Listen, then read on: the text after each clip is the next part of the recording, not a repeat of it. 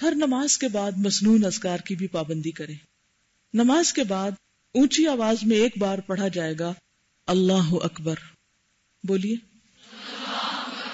अल्लाह सबसे बड़ा है। ठीक है ना?